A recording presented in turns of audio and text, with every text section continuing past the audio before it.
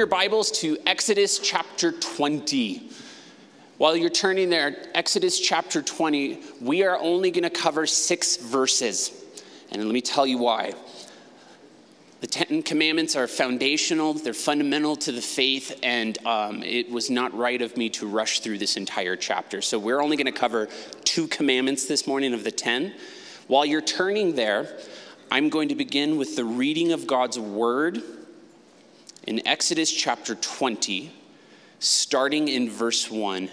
It says this And God spoke all these words, saying, I am the Lord your God who brought you out of the land of Egypt, out of the house of bondage. You shall have no other gods before me. You shall not make yourself a carved image, any likeness of anything that is in heaven above, or that is in the earth beneath, or that is in the water under the earth. Verse 5 You shall not bow down to them, nor serve them, for I am the Lord your God, am a jealous God visiting the iniquity of the fathers upon the children to the third and fourth generations of those who hate me, but showing mercy to thousands, to those who love me and keep my commandments. This is God's word. Let's pray one last time. Lord, we just pray that you would bless the reading and the studying of God's word this morning, recognizing uh, all scriptures given by inspiration of God. Lord, we know your commandments, as the word says, are not burdensome. Lord, we know that we see this establishment in the Old Testament that breathes into the New Testament when Jesus, you said, A new commandment I give you, that you love one another as I have loved you. And by this, people will know we're your disciples, Lord. We see how they complement one another, both with the new and the old covenant. I pray that you would please bless this time in the word. And it's in Jesus' name. And all God's people said, Amen. I wonder how many of you grew up in a home where you had parents who would often make statements like, My house, my rules. You live under my roof, these are the rules. Like they're the ones who set the law, you know? You break the law with mom and dad, it's not good. Or maybe some of you actually came to church this morning because you're like, My parents actually said that as we came to church this morning. Um, sorry, but not sorry if you are here forcibly, whether you're a child or an adult. Rules and laws are interesting, especially in our day and age, primarily because rules and laws change, are overturned. In fact, I came across this article that gave state laws and how some of them are so silly. And some of these laws are still enforced to this day, while others are no longer enforced. But check this out in Alabama, it's illegal to drive blindfolded. I know, it's like, well, duh. Keep your eyes on the road, right? In Arizona, check this out it's illegal for donkeys to sleep in bathtubs.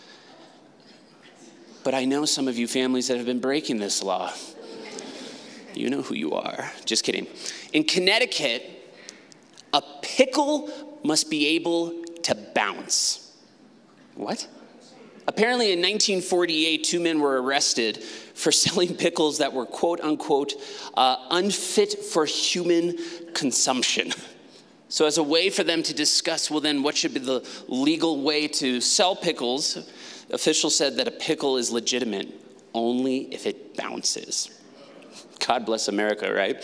Check this out. In Delaware, it's illegal to sell dog hair. I'm just looking at you guys to wonder which sociopath in here is like, oh, you're not supposed to? That's weird. In Georgia, it's illegal to live on a boat for more than 30 days. That's all right. I'm okay with that. In Kentucky, a woman cannot marry the same man four times. Just don't ask, don't ask. Last one, I love this one. Guys, every single state needs to implement this next law. This is not jokey Jon right now. This is serious Jon. Ready for this? Best one. In Maine, it is illegal to keep Christmas decorations up after January 14th. Those who are not clapping that have left your Christmas decorations up all year, you should be arrested I'm Just kidding.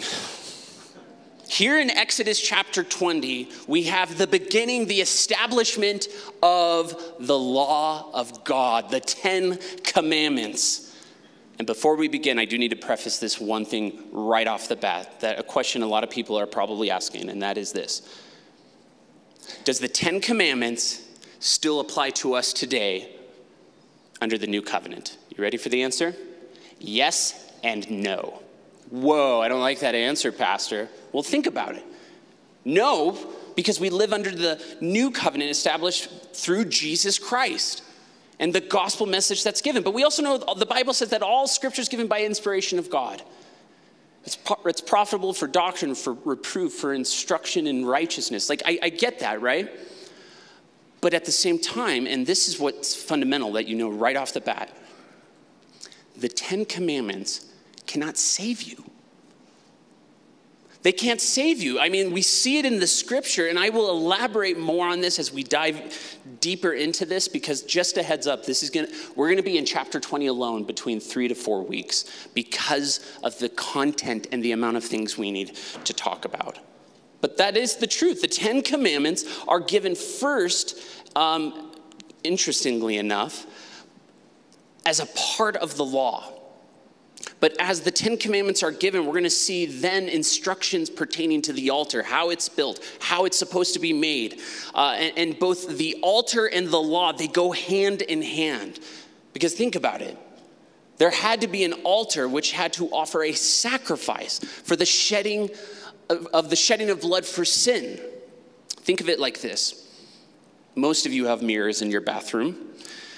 Think of the, the law is like a mirror the mirror in your bathroom. And underneath that mirror is the basin that dis, you know, gives you the water. The point of the mirror is to reveal the dirt as you see the reflection on your face, on your hands, but the mirror can't clean you. It only can reveal what's problematic in terms of what you see. The point of the basin below the mirror, that's as you see the dirt, the water washes it away. And in the same way, just as the law is the mirror that reveals our sin, beneath the mirror is the wash basin to clean us, which is why, as I pointed out, the Ten Commandments cannot save you. And, and by the way, that, that was the point of the law and the altar pre Jesus incarnate. Keep in mind, the law is divided up into two components the law of God, you ready? And the law of Moses. Don't misunderstand the two. They're not one and the same. And yet, at the same time, they are. I'll explain. I know, it's just like, you're confusing today, Jon. The law of God is different from the law of Moses. They were both given at Mount Sinai, but the law of God is given here in Exodus chapter 20. The law of Moses is going to be given in Exodus 21 through 23. We're going to see the law of Moses established in the book of Leviticus. The law of God is referred to Paul in Romans chapter 7. The law, or excuse me, the, yes, the law of God is referred to Paul in Romans chapter 7. The law of Moses is referred to Jesus in John chapter 7. The law of God was given to 3 million plus people publicly and audibly the law of Moses was given to Moses privately. The law of God was written by God directly. We'll see that in the 31st chapter. The law of Moses was recorded by Moses. And the law of God was preserved in the ark. Check this out. The law of Moses is not. I point these things out to give you a context context to the contrast between the two. And we do need to differentiate the law of God from the law of Moses to remember this important truth. The law of God is for all people at all times, which is why the Ten Commandments is just as applicable. But the law of Moses was intended for the Jewish people, for the nation of Israel. Does that mean you can't practice Judaism and you can't practice the ceremonies of Judaism? I mean, under the new covenant, you don't have to, but they're still just as applicable historically and biblically, why they're given to us. But with the law of Moses, it deals with civil and ceremonial regulations for the people and the nation of Israel.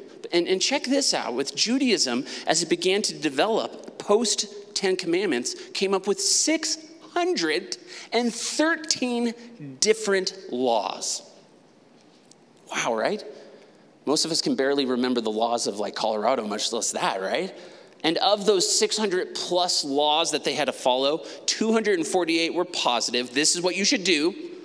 And 365 were negative. This is what you should not do. And uh, of all of these laws, they governed Judaism, Jewish life, the nation of Israel. And the Ten Commandments that we're going to study in these coming weeks, they're divided up into two major divisions. One part deals with uh, man's relationship with God, while the other half deals with man's relationship to man. Just as much as they're important today as they are moving forward. Well, you know, some of you might say, well, I, I, I don't believe in that. And, you know, we don't live under uh, the, the old covenant. And so the Ten Commandments don't apply to me. Yet, if you murder someone, you're going to go to jail. And the Bible says in the New Testament to submit to the governing authorities of the land. We're going to see this throughout our study how they complement each other. They don't conflict with one another, they complement one another. Like, for another example, the Ark of the Covenant, what's inside of it? We know Aaron's rod is in there, manna, and what is the third item that's in the ark? The stone tablets with the Ten Commandments. Is the law of Moses contained in the ark? No. And yet it's still just as important because before God could systematically lay out this covenantal conditions before the Israelites, what we know as the Ten Commandments, before he could do that, God first had to remind them of what he had done for them. Read with me, verse 1, won't you? And God spoke all these words, saying, Stop there for a moment. This is seriously why we are going to spend four weeks into this. In this, why are you stopping after reading only seven words?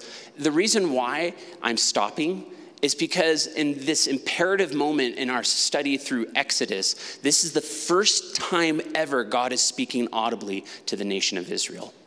This is the first time they're hearing God do this work, hear him speak to them. They can actually hear what he's saying for the first time. Because in the past, uh, they heard through Moses what God had said. They'd seen the plagues and miracles that were done by God, but they've never heard God speak audibly. And the first thing, and this is what I want you to notice the first thing God wanted them to hear was his law.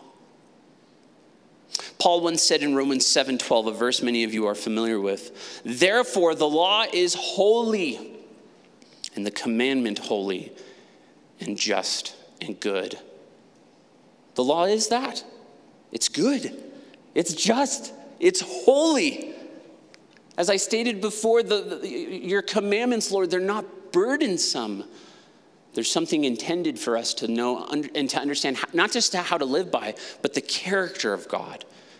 But for a lot of people, the law doesn't feel that way. The law, the Bible, the scriptures as we know it, it, it, it feels burdensome. It feels quite the opposite. It doesn't feel good. It feels confusing.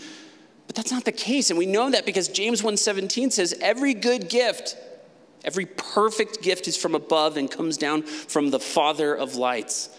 Don't miss this point. Everything God says after verse 2, these 10 commandments, are gifts. They're not 10 rules. If anything, I want you to think about them like this they're, they're, they're 10 freedoms intended to help us understand and shape why we should do what we do as a society, as a culture, unto our relationship with God. Jesus fulfills all that, and praise God for that. But they're not these regulations, they're sets of freedoms and, and I'll and explain again as we get through each and every individual commandment.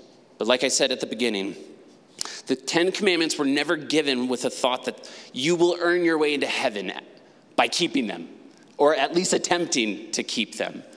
The covenant God made with Israel at Mount Sinai was much bigger than the law itself. Because another aspect of the covenant, the sacrifice that had to be given, both God and the Israelites knew that it was impossible for them to keep the law perfectly. And that's why he establishes the altar, why he establishes a sacrificial system, because no one was going to be able to keep it. And then you come into Jesus' time, and we're still unable to keep it, which is why Jesus is a fulfillment of it because he took upon himself to be the perfect sacrifice for all mankind's sins so that you hearing my voice right now can understand that you don't have to be good to get into heaven. Keep the 10 commandments to get into heaven. You have to have a relationship with jesus. Accept the fact that he died for you because he loved you. Because he knew you were worth it. The 10 commandments as we're going to see here was always intended to reveal the sin. They can't save you. But that's where Jesus is the best thing ever because Jesus can save you. And your attempts to be good isn't going to fix it. Only Jesus is going to be able to be the, the supernatural spiritual water basin to not just, listen, not just temporarily remove the sin, but wash it away so that you are Oh, he separates them, as the Bible says, as far as the east is from the west. He casts your iniquities into the depths of the sea. It's a beautiful picture. In fact, Jesus being the fulfillment of the law under this new covenant is established in the New Testament. And speaking of the New Testament, did you know the Ten Commandments are still mentioned numerous times? Like, for example, Jesus spoke of this you guys are familiar with this story. Matthew 22, 35 through 40. Someone tried to stump Jesus, right? We're going to stump Jesus with a question that's going to corner him. Listen to this. Then one of them, a lawyer, asked him a question, testing him, saying, Teacher, which is, which is the great commandment in the law? Because they know whatever he says is going to contradict itself. And so Jesus said to him, Well, you shall love the Lord your God with all your heart and with all your soul and with all your mind. This is the first and greatest great commandment. And the second is like this you shall love your neighbor as yourself. On these two commandments hang the law and the prophets. Now, this might be really easy for us to hear, but imagine you are a practicing Jew hearing this for the first time who is used to 613 laws, the 10 commandments, and Jesus just summarized it in two. That had blown their mind. That had to just conflict with what they've been taught growing up up until this point that Jesus just summarized it in two commandments. Love the Lord your God with all your heart, with all your soul, with all your mind. This is the first and the great commandment. Second is like this you shall love your neighbor as yourself. And on these two commandments hang all the law of the prophets. Which is why Jesus consistently said in relation to that, hey, by the way, a new commandment I give you. And they're like, but you said the two already. No, no, that you love one another as I have loved you. And by this, people will know you're my disciples. It's still consistent with the two other commandments that he's given here. And the simplification of those commandments doesn't eliminate the 10 commandments, it fulfills them. It shows the heart and desire of God for his people. And as exciting as it is to be under the new covenant, the whew, we don't have to live under the old sacrificial system and the establishing of the 613 plus laws that are given, yet we still struggle with the two greatest commandments that Jesus gave. We struggle with loving each other, man. It's like not within our nature to do it. And another thing to know, which is funny, a lot of people don't even remember the Ten Commandments. Before some of you are like, before he looks at me and asks me to name them right off the spot, I'm going to give you the sneak, quick preview. What are the Ten Commandments? I'm going to list them right now. Here we are. Number one, you shall have no other gods before me. Two, you shall make no idols. Three, do not take the Lord's name in vain. I'm paraphrasing it, of course, because of time. Four, remember to keep the Sabbath day holy. Five, honor your father and mother. Six, you shall not murder. Seven, you shall not commit adultery. Eight, you shall not steal. Nine, you shall not bear false witness against your neighbor. And ten, you shall not covet. Which, interestingly enough, I came across an article that stated that more Americans, check this out, can name the ingredients of a Big Mac than name all the Ten Commandments. Whoa. This survey asked a thousand Americans. It was done by the Kelton Research. It was undertaken to help promote a movie that came out in 2007, The Ten Commandments. Some of you are looking at me like, what movie came out in 2007 called, called The Ten Commandments? It was a cartoon, and Christian Slater played the role of Moses. Some of you are looking at me like, I don't remember it. Yeah, a lot of people don't because it was that bad. Anyways. Um, but they did this survey in order to promote the movie, and the vast majority of the survey could easily name the primary ingredients of the Big Mac. And a lot of us might immediately say, well, that's not fair because of like promotion. And remember, those who remember, even though I was born in the 80s, there was a jingle in the 70s that McDonald's came up with. Do you remember it? All two, two all beef patty special sauce, lettuce, cheese, pickles, onions, and a sesame seed bun. You guys remember that jingle? That's and, and now you get this jingle stuck in your head, right? And then a lot of people were able to name those ingredients. And then when they were asked about the Ten Commandments, by comparison, check this out you shall not kill was known to fewer than six in 10 response. Less than half, 45%, could recall the commandment honor your mother and father. 69% remembered you shall not steal. But McDonald's all beef patties and lettuce got more recognition from the survey group 79 and 76%, respectively. And as you're looking at me, you'd be like, you know, it'd be really great, Jon, is for us to begin studying the Ten Commandments instead of you taking your slow pace and studying through Exodus chapter 20. Well, before God can give the commandments, though, he makes a statement in verse 2. Read it with me. I am the Lord your God who brought you out of the land of Egypt, out of the house of bondage. He's reminding them of something they knew all too well, but he's going to remind them nonetheless. And maybe some of you, again, grew up in a home where you had a mom who liked to remind you how difficult you were when she gave birth to you. It was so hard giving birth to you for hours. And then you'll be like, How many hours, mom? And you say it ignorantly, right?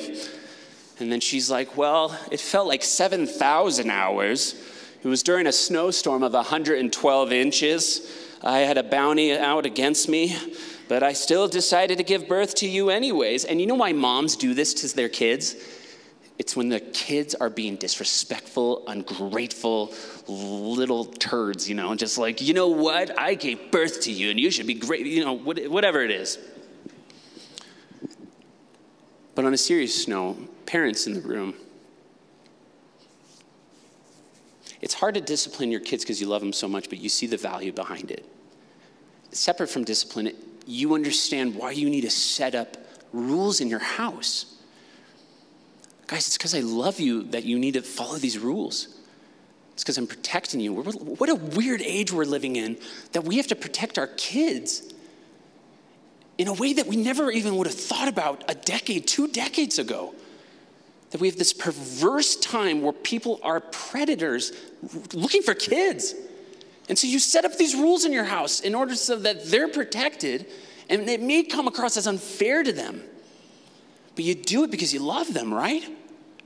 And either they grow up and they rebel against the rules, or they grow up and they thank you for the rules. Parents, don't, I don't want to lose you right now. Listen, whether you're in the camp of kids running from the Lord or you're in the camp of kids that are embracing it slowly, remember you are accountable to God with how you raised your kid. And even though you might be in this moment looking at me like, man, I, I failed in raising my kid, but God can take the years the locusts have eaten and redeem them. Reunite that relationship with your kiddo. Show them that they're loved. They're adults now. They don't, they're not going to listen to me, but you can love them now. And for God, He's coming before the children of Israel. He's about to establish the Ten Commandments. But before He can even say any of that, He has to remind them of where they were and what they came out of. The Lord wanted them to see that before the Ten Commandments are given. I am the Lord your God who brought you out of the land of Egypt, out of the house of bondage.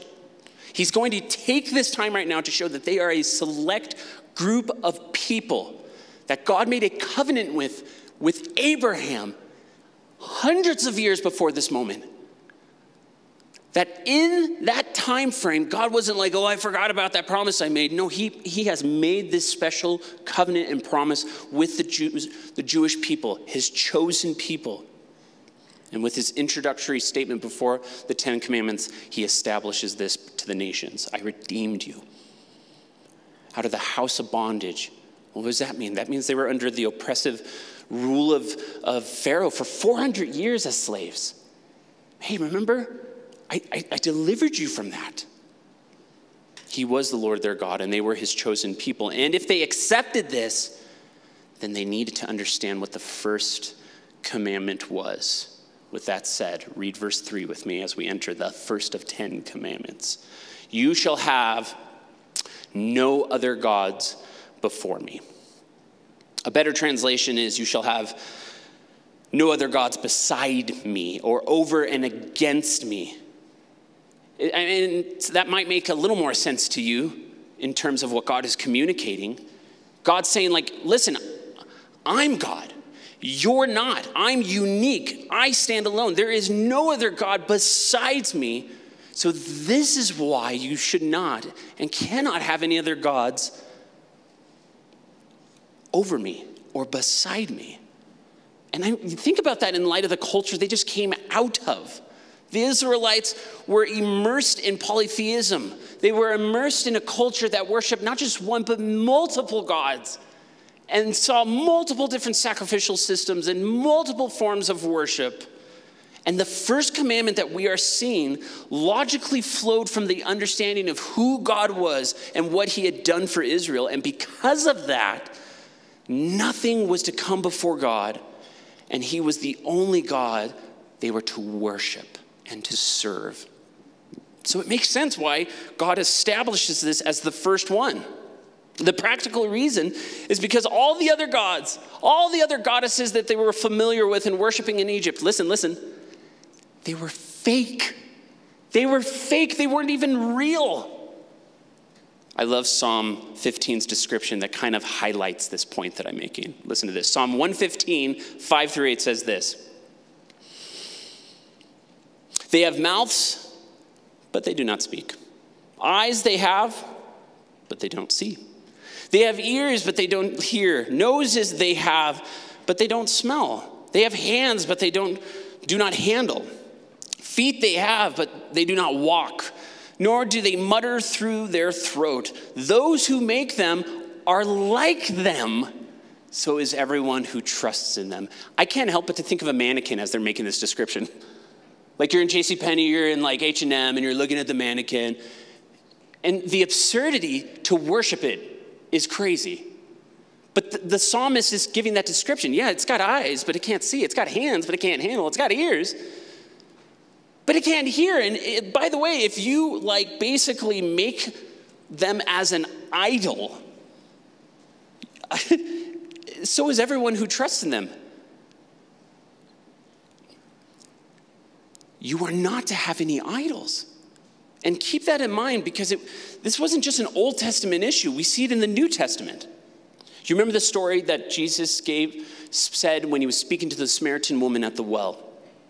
Actually, before we go to that one, remember the story of Jesus wandering the desert for 40 days and 40 nights, and Satan tempts him. We know this. There's a portion in the story where Satan takes Jesus over a mountain, shows Jesus the kingdoms of the world in all their glory. And do you remember what Satan said to Jesus? He said, All of this could be yours if what? If you bow down and worship me right now. And what was Jesus' response? Matthew 4:10, Jesus said to him, "Be gone, Satan, for it is written, you shall worship the Lord your God, and him only shall you serve." Jesus had a microphone, he would have dropped it and walked away in that moment. But that's what he's doing. He's making it perfectly clear that God is the one true God and he is to be worshiped and worshiped alone. That's why you are to not have no other gods before me. It means God demands to be more than just added to our lives. We don't just add Jesus to our life, the life we already have. We give Jesus all of our life. It belongs to Him now. You were bought with a ransom price, His blood shedding for you is the price paid for you. I'm not my own anymore. And the moments when I think I'm my own, isn't it funny when the Lord reminds me? But I bought you. But I saved you. But I, ransom, I, I became the ransom sacrifice so that you wouldn't have to be a slave to this anymore. But human nature, our human nature is like an idol factory that operates constantly. We're always dealing with the temptation to set all kinds of things before God, allow certain idols to compete with God, and take this preeminent place of Him. And I'm going to say something that you guys already know, but I'm going to say it anyways. God does not want to compete with others, He has set the tone. You shall have no other gods before me. That's why Jesus said in Matthew, it's not going to be on the screen. I was thinking about this before I came up. Jesus said, no, no one can serve two masters, for either he'll hate the one and love the other, or else he'll be loyal to one and despise the other. You can't serve God and mammon or money. You can't have two masters. That's where the inconsistency comes. And with that, the first commandment flows perfectly well, even though they're separate, with the second commandment. Read it with me. We're going to read verses four through six, and we're going to break down verses four, especially. And I am going to take a little more time next week to break down verse five and six. But look what it says. You shall not make yourself a carved image, any likeness of anything that is in heaven above, or that is in earth beneath, or that is in the water under the earth.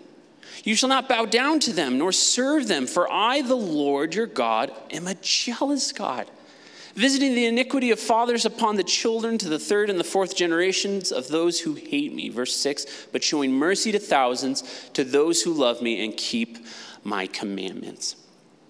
I want you guys to complete the sentence in your mind of a statement that I'm about to make. Here it is. Complete this sentence. You ready?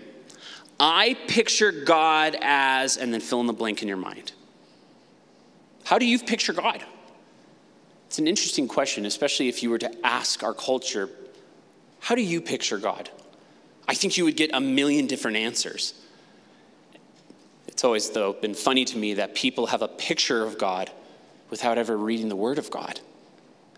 Sometimes they'll base their decision on what Hollywood has told them or articles they've read that has no biblical reference whatsoever. Well, I picture God as this. Well, have, have you read the Word of God? Well, no. And it's funny to me, I mean, it's not funny, it's actually sad. A lot of people in the Western evangelical church, this common picture you see every time you're in Mardel, you're in a thrift store, of how people picture Jesus in the Western church this Caucasian, blue eyed, muscular, for whatever reason, carrying a lamb over his shoulders, Jesus Christ. Why is he muscular? Because he was a carpenter. I know lots of carpenters and they're not muscular. But why have we done that? Why have we taken this westernized view of who Jesus is and how he looks? How do you picture God in your mind? And some people might say, well, I don't picture God as a him, but a her. J.I. Packer, who's brilliant, by the way, put it this way. He once said, Metal images are simply the consequence of mental images. And there might be this artistic expression, you might say, Jon. Well, this is how I'm interpreting it. That's artistic, but not being biblical so much. Well, okay, I. But here's the thing people will make images based on their mental conception of how they view God and the God they worship. So that's why I'm saying when you should complete in your mind the sentence, I view God as, what is in that blank? How do you fill in the blank? Because here's the reality how you view the Bible will paint the perfect picture of how you view God of the Bible. When you read the word, what comes across to you? Both God in the New Testament and the Old Testament. Because we will either take what God has said about himself in the revealed word of God and all that we know concerning his character and his nature, it's derived from biblical revelation. Or we decide to just get rid of all of that, have nothing to do with it, and now we're just left with our own imagination or what Hollywood tells us God is which is far worse. It's far worse, you guys. I think God is, I picture God as, and so forth. But the first commandment here in Exodus 20 says that God was to be worshiped exclusively. Then it makes sense why the second commandment would tell us that God is to be worshiped correctly. If the first commandment tells us the whom, then the second commandment tells us the how. This is who we are to worship, and this is how we are to worship Him. And don't miss this God wants to be worshiped. He wants to be worshiped separate from this time we t- put aside for audible worship. And He wants that. Make a joyful noise to the Lord, the Bible says. But he wants to be worshiped in your marriage, man. He wants to be worshiped with how you spend your money. He wants to be worshiped in, in, for some of you in your time of singleness. He wants to be worshiped in the way that you think, in the way that you react, in the way you read his Bible and his word. He wants to be worshiped. And if the first commandment is against false gods, then the second commandment makes sense why it's against false worship on the true living God. So when I see this second commandment, you shall make no idols, I, I, that's where I can't help but to think of the conversation Jesus had with the Samaritan woman at the well. Remember, he said to her, God is spirit, and those who worship him must worship him in spirit and in truth. Okay, so if God is spirit, and you want to worship God, okay, well, then I need to worship him in spirit and in truth. And with that said, like I said, I want to break down these verses to help us understand what that means. Next week, we'll spend more time because I'm going to run out of time. But I want to talk about two things. Number one, first of all, the prohibition itself, the command itself you shall make no idols. What does that mean exactly? And number two, so the first thing, the prohibition, the second thing, the problem. That is, why do people even break this commandment? Why did God think it was so important to make it two of the ten? Why should it be top two or number two of ten? In fact, if I were to ask each person in this room, hey, I compiled a list of 10 different bands, and I want you on this list to write who they are from best to worst. Do you think every person in this room would come up with the exact same list? Of course not, because it's all based on preference and style. Your list might look completely different from my list, but we choose music on the basis of powerful memories, moments in our life, life when we first heard it. Because, like, even now, I can play a song, and then you just traveled back in time to 1980. Or, wow, you just traveled back in time when you saw the Beatles live in the 1960s. Or that first song you walked down the aisle to Bryan Adams, Everything I Do, I Do for You. I watched Carolyn. No, no, no, it was Jeremy Camp. See what I did there in front of everyone? Beautiful maker, Jeremy Camp. Our first dance was Bryan Adams, Everything I Do, I Do for You. And some of you are like, that wouldn't make it on top of my list. In fact, some of you if, you, if I gave you the list that I compiled, you'd be like, I don't agree with the list that you compiled here. In fact, I don't understand why you didn't put Garth Brooks on here. I would say to you, first of all, everyone knows that country music never makes it on the top 10 favorite music lists. Oh. everyone knows that punk is not dead and country music is just noise. I'm just kidding. Before you throw cowboy hats at me, hang on, hang on. But you know, this is the point that I'm making. It's okay if you like country music, whatever.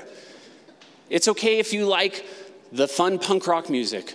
R&B, I don't, that's not the point of the illustration that I'm trying to make right here. The point that I'm making is that people treat the Ten Commandments that way. They're subjective. They agree with parts of them and not all of them.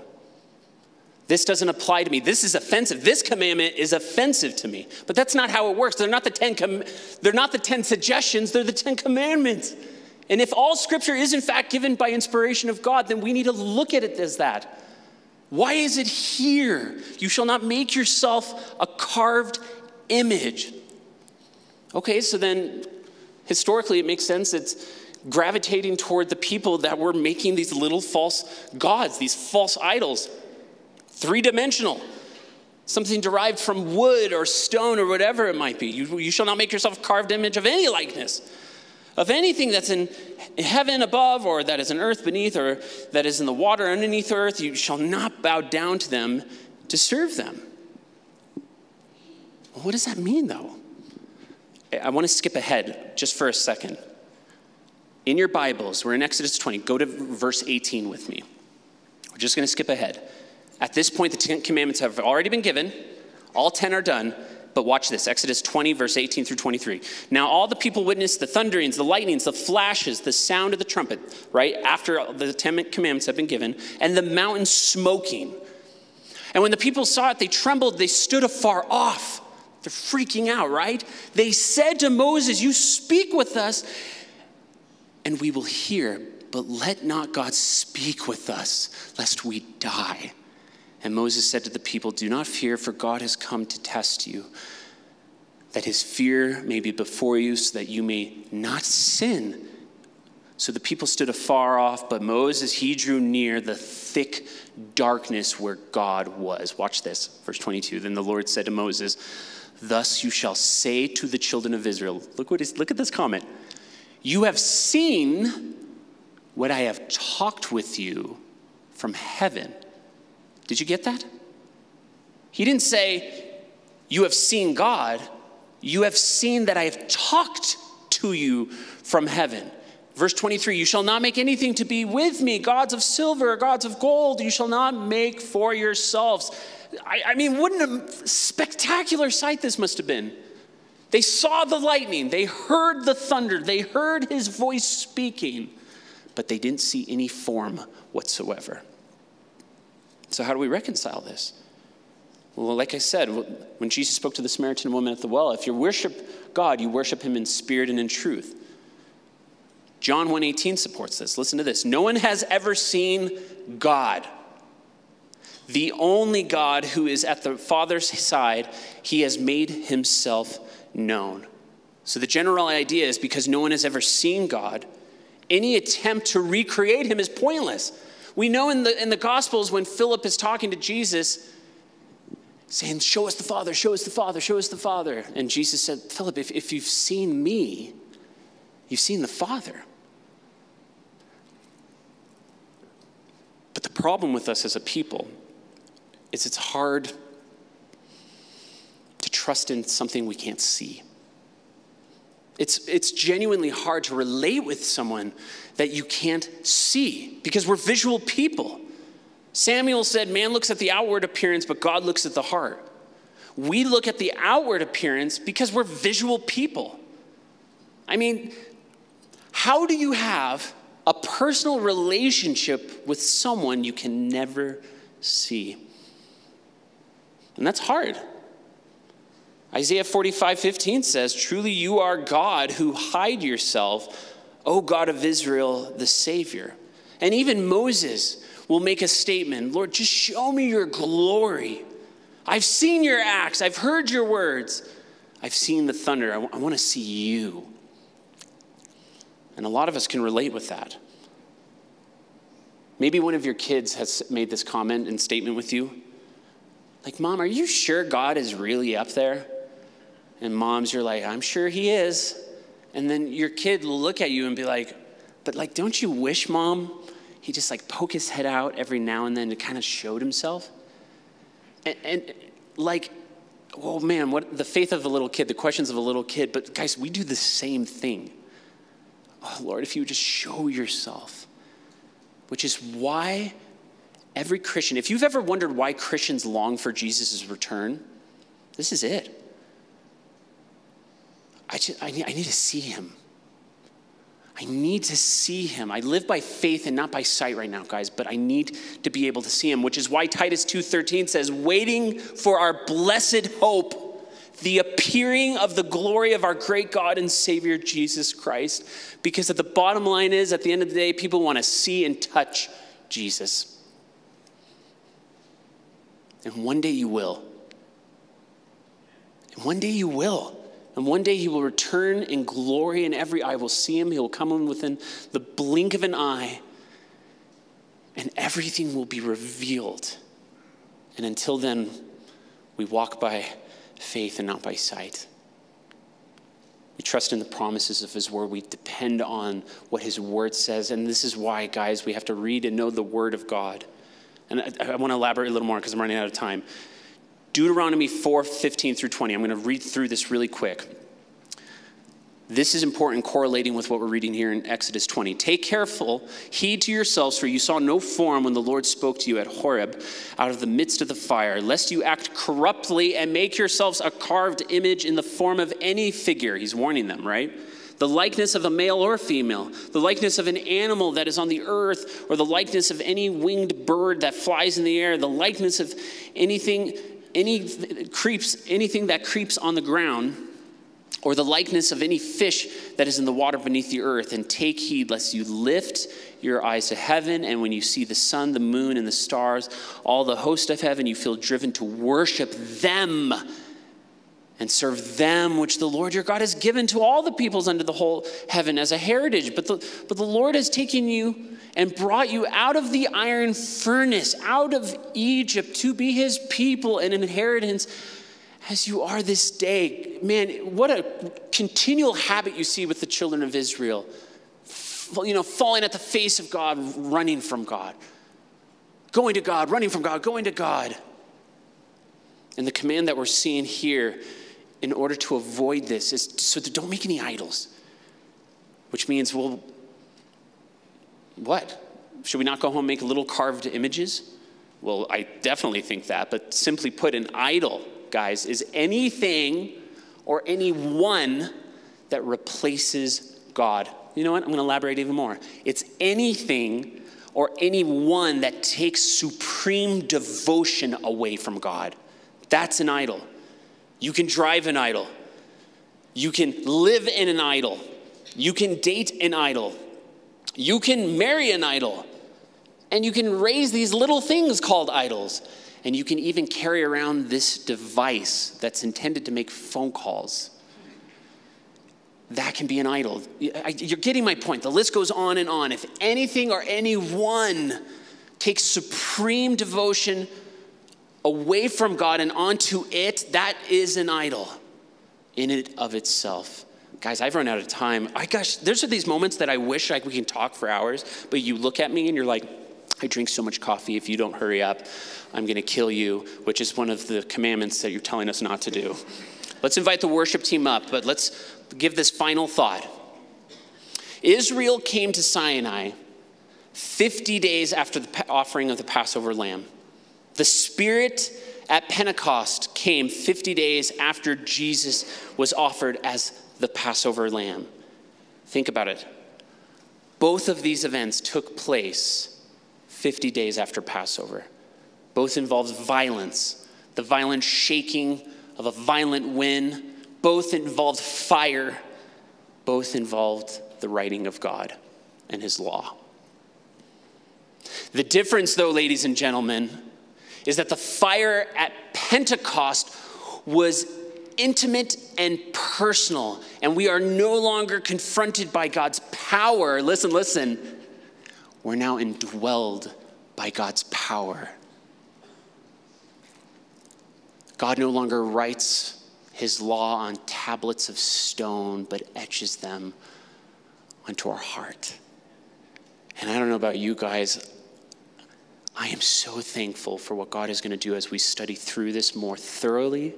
And I am so thankful for the old covenant, but I'm so thankful that we are living under the time of grace under his new covenant when he shall return. And ladies and gentlemen, he is going to return. Amen.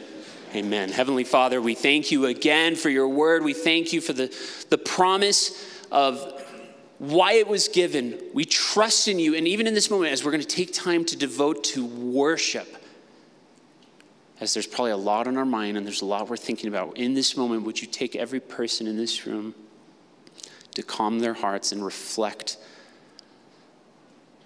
on why the Ten Commandments are given. They're not 10 obligations, they're 10 freedoms. And you freed us so that we wouldn't have any other gods before us. You freed us so that we wouldn't have idols in our life. You brought these things about so that we can live in such a way that's not reflecting how good of a person I am, but Lord, how good of a God you are to save us. And we need your guidance. We need your help. We need the teachings of your word to help us understand the character. And we don't want to ever picture you as anything separate from what the Bible has already revealed. And so now we know if we worship you, we worship you in spirit and truth because you are spirit. There's so much that I don't understand about you, God, but just in this moment, would you please calm our hearts as your Holy Spirit indwells inside us to hear what you have to say. In Jesus' name.